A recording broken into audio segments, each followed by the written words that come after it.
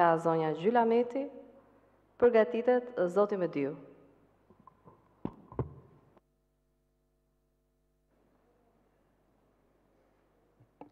E nderuar drejtuese e seancës, të nderuar kolegë, sinqerisht tek dëgjon në këtë sallë dhe jo vetëm edhe në sallat e komisioneve, nuk kupton çoroditjen totale që kanë disa kolegë të opozitës dhe më pak kupton se çfarë duan të thonë.